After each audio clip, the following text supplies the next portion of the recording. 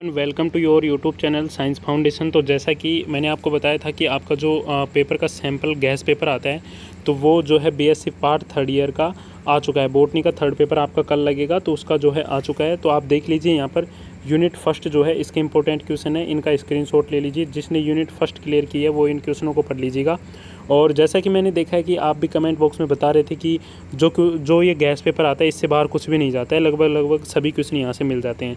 तो आप एक बार इनको ज़रूर पढ़ लीजिएगा और ज़्यादा से ज़्यादा देखिए, एक बार मैं आपसे फिर से कहूँगा कि ज़्यादा से ज़्यादा इनको शेयर कीजिएगा, जिससे कि सभी बच्चों को जो है ये मिल सके।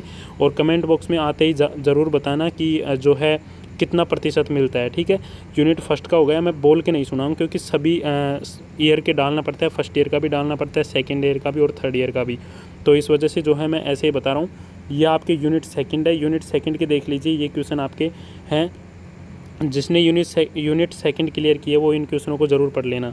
यूनिट थर्ड के मैं बताऊँ यहाँ पर क्वेश्चन तो देखिए यूनिट थर्ड के हैं आवर्त बीजियों में नर के विकास का सचित्र वर्णन कीजिए और ये पराग कोष की संरचना पराग कणों की संरचना और बीजांड के प्रकार और लघु बीजाणु विकास। तो इसको क्लियर कर लीजिएगा। फिर इस तरीके से यूनिट चार हैं। सॉरी यूनिट चार हैं। इनके क्वेश्चन ज़रूर देख लीजिएगा आप, ठीक है? और फिर देखिए, एक और यूनिट आपके हैं मेरे हिसाब से इसके अंदर। तो उसके क्वेश्चन मैं आपको बताता हूँ। वो यूनिट चार के क्वेश्चन थे और यहाँ पर जो है ये यूनिट पाँच के आपके क्वेश्चन है। तो इस तरीके से जो है पाँच, वो सॉरी चारों यूनिटों के क्वेश्चन हो गए।